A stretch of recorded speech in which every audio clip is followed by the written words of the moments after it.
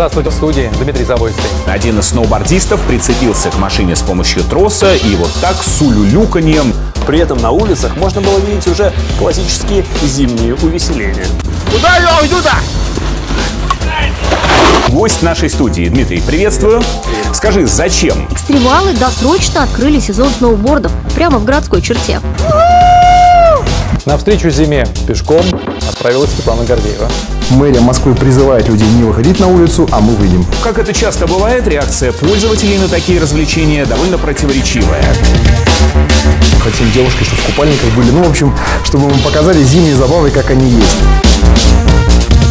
Мы это осуществим. Что ж, Дмитрий, благодарю. Желаю удачи, будьте аккуратны.